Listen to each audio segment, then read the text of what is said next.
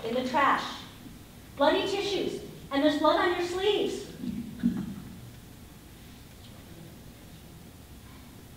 What, what's happening? Are you doing something stupid? What? No. Why are you snooping around in my trash? What's wrong with you? Just leave me alone. Okay, this is a good place to stop. A timeout. Mom, let's just have a seat. And maybe you can put away the bloody tissue. What happened there, Mom? I'm trying to help her, but she won't let me. Something terrible is happening, and she won't tell me. Yeah, I'm having a really difficult time, and like I'm, I'm not handling it or handling the stress and pressure in a good way by hurting myself.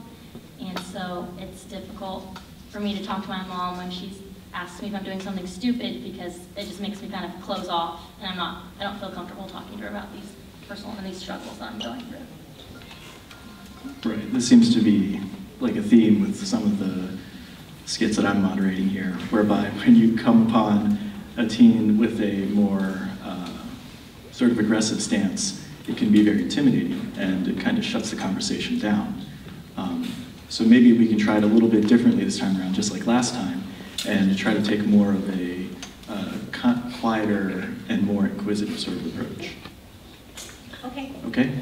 So, and action.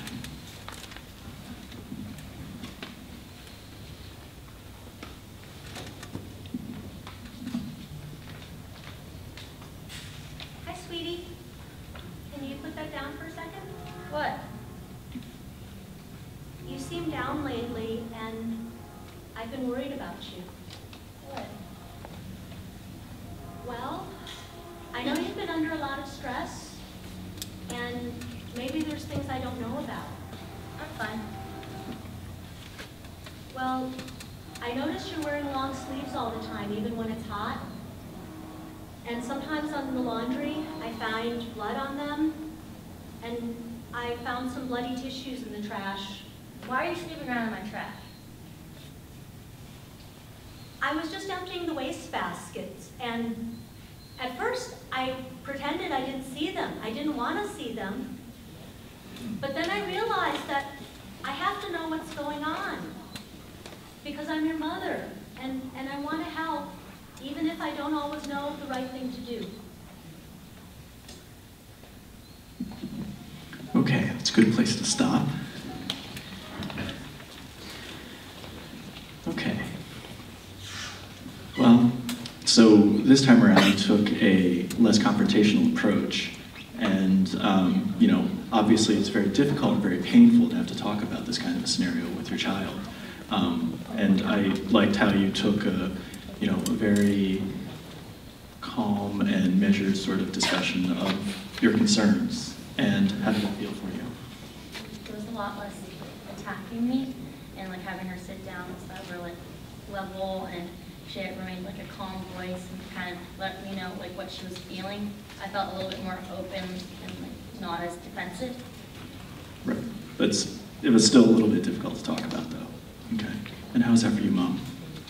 It was not easy, but I feel like whether it's depression or cutting or an eating disorder or drugs or I don't know, that if I just, I, I need to know what's happening or I can't do anything, right? And if I, if she feels like she's being attacked, then we're not going to be on the same side. So I, I know if she's cutting, she must be feeling really bad. She's not doing it to hurt me, she's doing it because she's upset.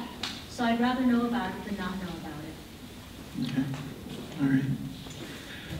Thanks. And, and, and by the way, this one was suggested by an actual teenager who um, said that when her mother said, are you doing something stupid? That there's no way to answer that. You can't say, yes, I'm doing something stupid. um, and that when you say what's wrong, that's different than what's wrong with you. So, Okay. This was a difficult um, skit. Uh, I was going to actually take a little moment to invite anybody in the audience to ask any questions they might have.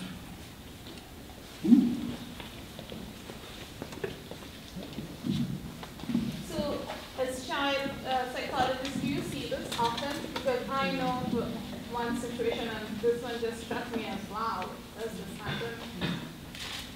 It does, it does happen and we, we could only pick sort of one topic to represent many. But whether it's cutting, eating disorder, depression, drugs, there are often times when you're worried about your child and it's hard to talk about it, but the approach um, to talk about it, it's always going to be a difficult subject. But if you can bring it up in a way that they don't feel attacked, and that you don't feel like they're doing it to you, um, I think that that will make it easier. So we, we don't have separate ones for all the different topics, but this one sort of is, is represents different things. A quick follow-up, do you then consult a psych- psychologist or a counselor afterwards? Yeah, I think that, that for issues like this, where the child is harming herself, that that would be a good time to call for professional help. I was just gonna add something. Um, uh, this, this gets like personal to me because, um, in high school I had an eating disorder.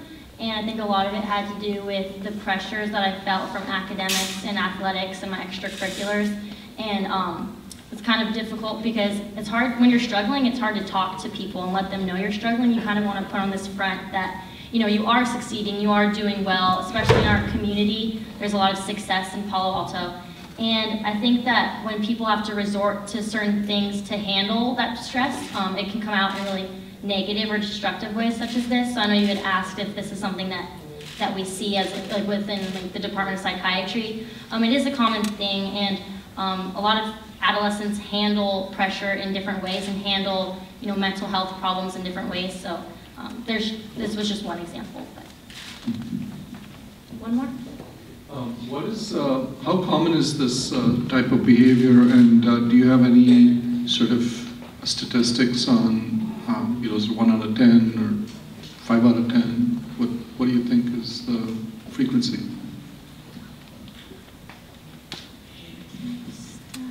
Statistics? Wow, that's a tough question. Um, I'll have to look it up and get back to you. Maybe we can talk afterwards?